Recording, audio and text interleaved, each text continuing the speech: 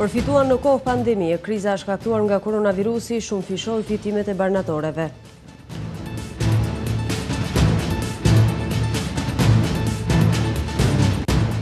Tetëmbëdhjetë të vdekur dhe 111 të infektuar nga COVID-19 në 24 orët e fundit, rreth 800 qytetarë kanë marrë dozën e tretë të vaksinës. Nuk e pranon gjuhën maqedonase. Bullgaria mban të bllokuar marrëveshjen për menaxhimin e kufirit të Maqedonisë së Veriut me Bashkimin Evropian.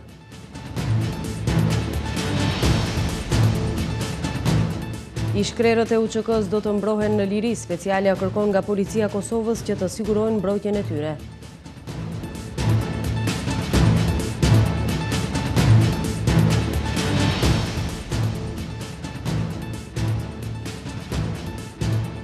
Përshëndetje shikues të nderuar. Koronavirusi ka shumëfishuar fitimet në të gjitha barnatoret e vendit. Zegin ka edhe rritjen më të madhe të fitimit me 1.600% në krahasim me vitin paraprak, ndërsa barnatorja Viola ka regjistruar rritje të fitimit për 1.400%, Gjatë vitit dy mijë e njëzet barnatoret kanë regjistruar dy pikë një milionë euro fitim.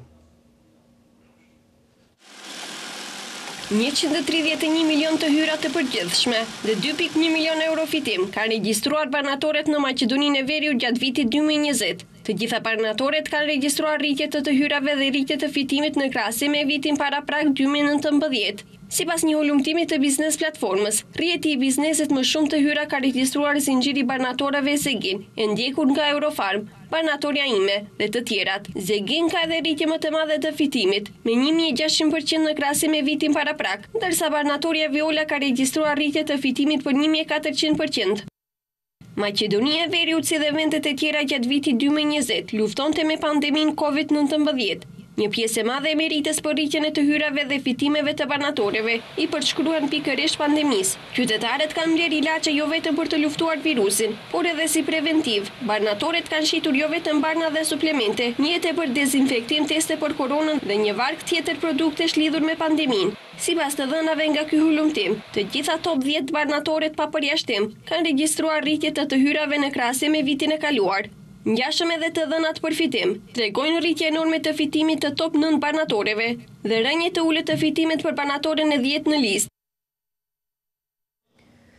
Ministria e Shëndetësisë njoftoi se tetëmbëdhjetë pacientë kanë ndërruar jetë gjatë njëzet e katër orëve të kaluara. Që nga fillimi i pandemisë kanë humbur jetën më shumë se gjashtë mijë pacientë të prekur nga Covid nëntëmbëdhjetë. Në njëzet e katër orët e fundit në vend janë regjistruar tetëmbëdhjetë pacientë të vdekur, njofton Ministria e Shëndetësisë.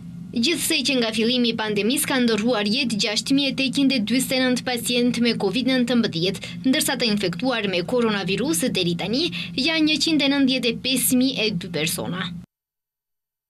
Pesë pacientë nga Shkupi, pesëdhjetë e gjashtë, gjashtëdhjetë e nëntë, shtatëdhjetë e dy, shtatëdhjetë e pesë dhe nëntëdhjetë e një vjeçarë, nga dy persona prej Kavadari, gjashtëdhjetë e katër dhe tetëdhjetë e katër vjeçarë, dhe nga Kërçova pesëdhjetë e katër dhe tetëdhjetë e shtatë vjeçarë. Nga një prej Velesi, shtatëdhjetë e dy vjeçar, Berova, pesëdhjetë e gjashtë vjeçar, Gjevgjelia, gjashtëdhjetë e katër, Koçani, shtatëdhjetë e gjashtë, Kriva Palanka, gjashtëdhjetë e një, dhe Strumica, tetëdhjetë e një vjeçar, në mënyrë shtesë, në regjistrin e personave të vdekur me diagnozë për Covid nëntëmbëdhjetë nga termini im, janë paraqitur edhe tre persona të vdekur të datës nëntë i nënti dy mijë e njëzet e një dhe njëmbëdhjetë i nënti dy mijë e njëzet e një. Dy persona kanë qenë nga Dibra dhe një nga Gostivari, të moshave pesëdhjetë e gjashtë, tetëdhjetë e dy. Në listën e personave të infektuar me Covid nëntëmbëdhjetë janë shtuar edhe njëqind e njëmbëdhjetë raste të reja. Janë bërë një mijë e pesëqind e njëzet e nëntë testime dhe janë regjistruar njëqind e njëmbëdhjetë raste të reja me koronavirus, edhe atë tetëdhjetë e tre në Shkup, gjashtë në Prilep, pesë në Veles, katër në Kavadar, nga dy në Kumanovë, Tetovë, Manastir, Kriva Pallankë dhe nga një në Gostivar, Shtip, Strumicë, Koçan dhe Gjevgjeli. Sipas të dhënave të ministrisë, raste aktive në tërë territorin e vendit janë gjashtë mijë e nëntëqind e pesëdhjetë e shtatë. Më shumë raste aktive për momentin ka në Shkup, tre mijë e pesëqind e pesëdhjetë, pastaj vijnë Kumanova me gjashtëqind e dymbëdhjetë, Velesi dyqind e tetëdhjetë e nëntë, Ohri me dyqind e njëzet e nëntë. Sipas njoftimit të fundit, deri tani vaksinë kundër koronavirusit me të dyja dozat kanë marrë tridhjetë e pesë për qind e popullsisë, ndërsa tridhjetë e tetë për qind e qytetarëve kanë marrë vetëm njërën dozë. Me dozën e tretë deri tani janë vaksinuar shtatëqind e tetëdhjetë e dy qytetarë. Zëvendëskryeministri për çështje evropiane, Nikolla Dimitrov ankohet se Bullgaria po krijon probleme në miqësinë e krijuar ndërmjet dy vendeve. Dimitrov thekson se nuk është aspak miqësore që të vendoset në pikëpyetje gjuha e fqinjit. Dimitrov theksoi se në Evropë në shekullin njëzet e një, çështja e gjuhës që e flasim është çështje e njerëzve brenda vendit dhe jo çështje e ndonjë vendi tjetër. Bullgaria po e bën të vështirë miqësinë e krijuar. Kështu ka deklaruar zëvendës kryeministri për çështje europiane Nikolla Dimitrov në një intervistë për radion bbc. Sipas tij, nuk është aspak miqësore që të vendoset në pikëpyetje gjuha e fqinjit. Lidhur me bllokadën bullgare, Dimitrov theksoi se në Europë në shekullin njëzet e një çështja e gjuhës që e flasim është çështje e njerëzve brenda vendit dhe jo për ndonjë vend tjetër apo organizatë ndërkombëtare. Nuk është shumë miqësore të bllokohet diçka që është shumë e rëndësishme për njerëzit në Maqedoninë e Veriut, ardhmërinë tonë evropiane. Vërtet është e rëndë që në një farë mënyre t'i vazhdoni t'i quani miq. Dimitrov nënvizoi se për herë të parë pas disa viteve, BE ka arritur konsensus që ta konfirmojë përkushtimin e saj ndaj zgjerimit, duke rikujtuar se në dy samitet e kaluara në Zagreb dhe Sofje flitej vetëm për perspektivën europiane. Në këtë kuptim, të paktën kemi sinjal politik, por ajo që është e nevojshme është të kthehet besimi tek njerëzit, se kjo gjë në fakt është e mundur, se vërtet ekziston ardhmëri evropiane për rajonin tonë. Me siguri, kthesa më e madhe për kthimin në rrugë do të jetë fillimi i bisedimeve për anëtarësimin në vendin tim, Maqedoninë e Veriut dhe me Shqipërinë. Sa i përket qëndrimeve të shteteve të tjera lidhur me zgjerimin, Dimitrov tha se shqetësimet e Francës dhe Holandës janë legjitime, Pasi ato pyeten nëse gjashtë vendet e Ballkanit Perëndimor do të sjellin më shumë probleme apo më shumë zgjidhje.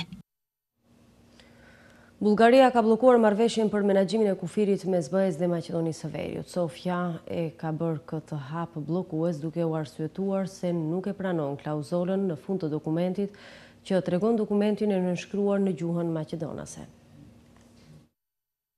Komisioni Europian konfirmon se marrëveshja për menaxhimin e kufirit mes BE-së dhe Maqedonisë mbetet e bllokuar nga Bullgaria, sepse ky vend nuk e njeh gjuhën maqedonase, raporton korrespondenti i MIA-s nga Brukseli. Marrëveshja mbetet ende e panënshkruar sepse Sofia nuk e pranon klauzolën në fund të dokumentit që tregon gjuhët në të cilat është nënshkruar.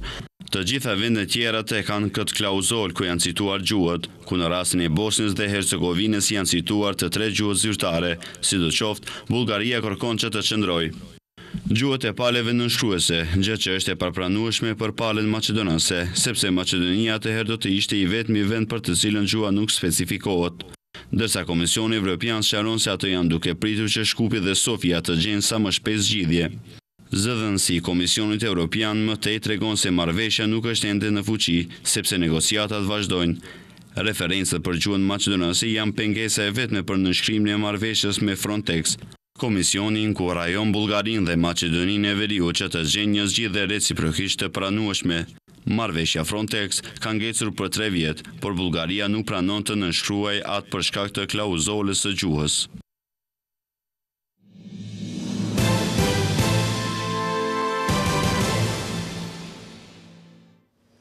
Kanë mbetur edhe shtatë ditë që ta vërtetojmë fitoren tonë që nga rrethi i parë në këtë komunë. Kështu u shprehën nga partia VMRO-DPMNE-së gjatë mitingut të tyre në komunën e Novosellës. Hristijan Mickoski, kryetari i partisë, tha se ajo që është e sigurt me qeverisjen e Zoran Zaevit shteti nuk krijon të ardhme pasi shkatërron shanset për çfarëdo ecje të vendit përpara. Ai shtoi se pushteti frikësohet pasi edhe përkrah kërcënimeve që i bën ndaj qytetarëve, kësaj radhe do të humbasë. Të gjithë ne dhe ju, kërkojmë ndryshime në këtë sistem të kalbur, Këto zgjedhje janë me një domethënie të thellë, sepse, nga zgjedhja dhe vendimi juaj, varet si sa dëshironi që të ndryshohen punët. Dhe duhet që ta dini se në krye me Zoran Zaevin, gjërat për të përparuar janë të barabarta me zero. Partia e LSDM-së mbrëmë fushatën parazgjedhore e vazhdoi në komunën e Krushevës, ku deklaruan se gjatë katër viteve në pushtet kanë arritur të realizojnë shumë premtime. Zoran Zaevi, kryetari i partisë, tha se kanë kthyer lirinë, demokracinë dhe se kanë ngritur standardet jetësore të qytetarëve. Ai madje shtoi se kanë realizuar projekte investuese duke bërë jetën më kualitative për shtetasit tanë.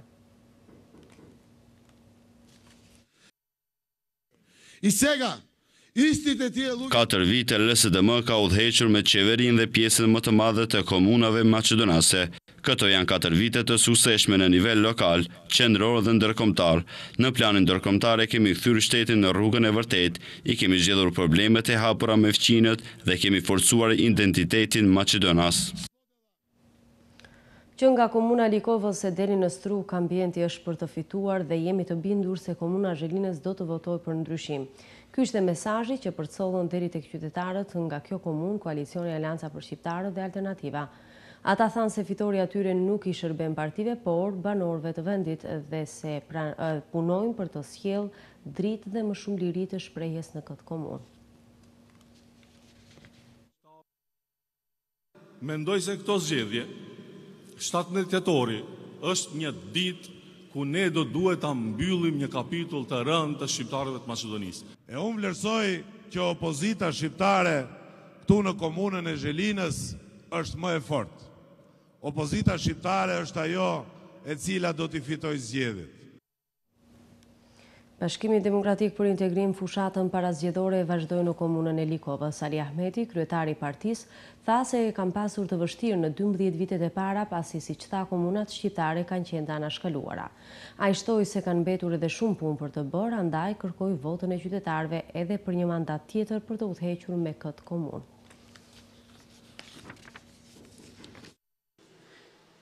Popullit duhet t'i afrosh alternativë, popullit duhet t'i afrosh platformë. Nuk e kemi pas lehtë sidomos dymbëdhjetë vitet e para, sepse duheshte të realizohen çështje substanciale kombëtare, që nga universiteti deri tek simbolet kombëtare, në infrastrukturë, tërësisht komunat të anashkaluara shqiptare. Duke pasur kandidatin më të mirë, besojmë që fitorja do të jetë e jona, kështu deklaruan nga Partia Demokratike Shqiptare para qytetarëve të Bogovinës. Menduh Thaçi, kryetari i partisë, kujtoi kohrat e vështira për partinë e tij, duke thënë qoftë mirë apo keq, ne vazhdojmë të jetojmë këtu dhe duhet të luftojmë për më të mirën e vendit.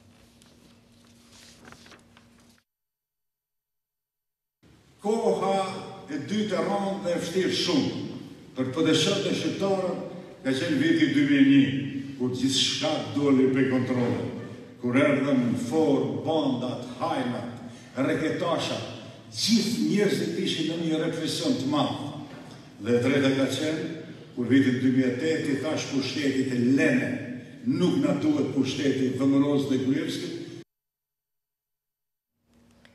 Aerodromi ishte destinacioni i lëvizjes Vendosur për ndryshim. Nga tribuna thanë se ndihen krenarë që partia e tyre përfshin kandidate gra për kryetare komunash të cilat janë të guximshme. Maja Moraçanin tha se së bashku do të arrijnë suksese të mëdha të dielën e 17 tetorit, ndërsa komunën e Aerodromit e cilësuan si një lagje të ndërtuar pa plan në tri dekadat e fundit Ndërsa shtoi se si parti kanë planin më të mirë për këtë komunë.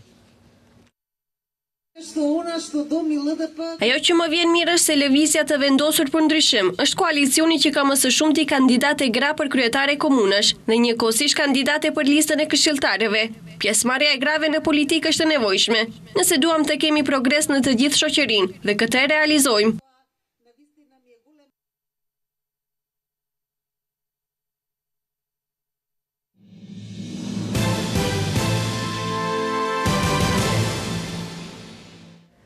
Dhomat e Specializuara në Hagë kanë lëshuar një urdhër për Policinë e Kosovës për t'u përgjigjur në detaje nëse ata mund të sigurojnë mbrojtjen në liri të ish-krerëve të UÇK-së. Policia e Kosovës, sipas urdhrit të lëshuar më tetë tetor nga gjyqtari i procedurës paraprake kanë dy javë kohë prej kësaj date që të përgjigjen për kërkesën e Dhomave të Specializuara për Kosovën.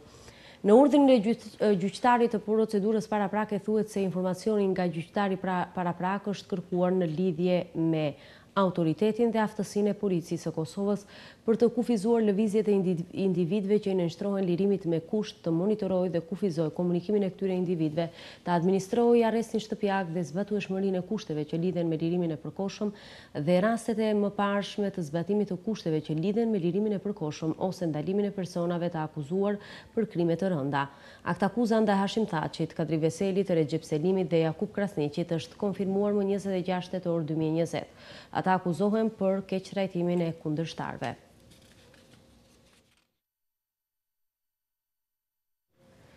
Ministri i Punëve të Jashtme i Rusisë, Sergei Lavrov, tha sot në samitin me rastin e gjashtëdhjetë vjetorit të Lëvizjes së Vendeve të Painkuadruara që mbahet në Beograd se Rusia ka status të vëzhguesit dhe se kjo hap shans të ri për bashkëpunim në zgjidhjen e të gjitha çështjeve, por edhe ndihmën në sigurimin e paqes. Lavrov tha se sot është i nevojshëm një dialog konstruktiv në të gjitha vendet e botës, kur situata në botë po bëhet gjithnjë e më e trazuar, kur njerëzimi po përballet me shumë sfida. Ai shtoi se parimet kryesore të Lëvizjes për të gjithë janë shumë të nevojshme, veçanërisht për zgjidhjen e situatave të plota, ndërtimin e demokracisë. Lavrov shtoi se është e nevojshme të shmangen standardet e dyfishta, është e nevojshme të ruhen idealet e respektit dhe punimit reciprok, por edhe të luftohet për mbrojtjen e të drejtave të njeriut, për të luftuar terrorizmin. Shpresojmë që edhe roli ynë si vëzhgues gjithashtu të ndihmojë me të gjitha veprimet e koordinuara, tha Lavrov.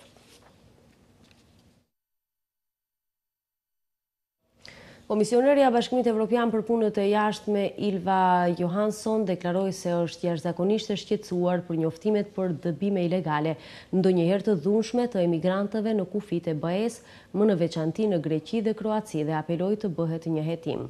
Ajo po ashtu shprehu frikësime për një shpërdorim me fondet evropiane të cilat u janë dhënë shteteve anëtare për mbrojtjen e kufijve të tyre. Fjalimi i saj vjen pasi mediat gjermane shpallën se disponojnë një video të njëmbëdhjetë kthimeve nga kufiri të kryera nga policia kroate ndaj Bosnjës si dhe një incizim se si roja bregdetare greke i detyron emigrantët të kthejnë në Detin Egje. Në mënyrë kategorike i mohojmë këto pohime. Kufijtë grekë janë kufij të Bashkimit Evropian dhe ne veprojmë në kuadrin e ligjeve ndërkombëtare dhe evropiane për mbrojtjen e tyre, tha ministri grek mbi migracionin Notis Mitarakis në përgjigje të akuzave. Ministri kroat i Punëve të Brendshme, Davor Bozhinoviq, deklaroi se policia do të kryejë një hetim. Mijëra njerëz në të gjithë Poloninë kanë protestuar që vendi i tyre të mbetet në Bashkimin Evropian. Gjykata Kushtetuese e vendit kohët e fundit vendosi që elementë të caktuar të ligjit të BE-së shkelin kushtetutën polake. Kështu ajo i jep përparësi të drejtës kombëtare mbi të drejtën e BE-së. Ky vendim nxit më tej konfliktin midis Komisionit Evropian dhe Varshavës mbi reformën e sistemit gjyqësor polak. Ish-presidenti i Këshillit Evropian dhe lideri polak i opozitës Donald Tusk bëri thirrje për protesta. Gjatë paraqitjes së tij para demonstruesve, ai akuzoi partinë konservatore në pushtet, PiS, se do të donte të çonte vendin jashtë BE-së. Vendi i Polonisë është në Evropë, u tha Tusk protestuesve në Varshavë. Ne do të fitojmë sepse jemi shumica. Komisioni Evropian tashmë ka hapur disa procedura për shkelje kundër Varshavës për shkak të reformave dhe ka ngritur padi në Gjykatën Evropiane të Drejtësisë.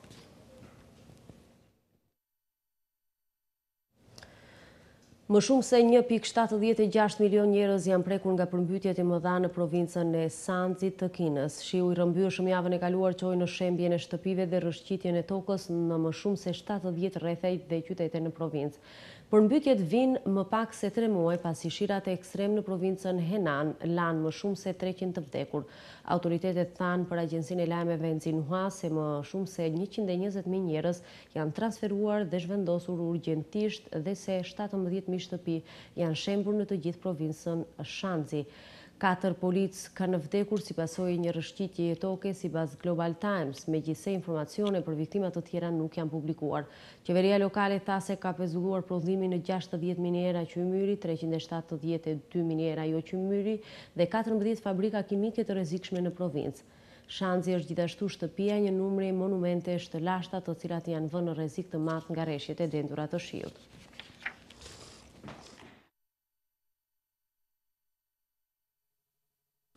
Shikues të nderuar, faleminderit për vëmendjen, mirëmëngjes.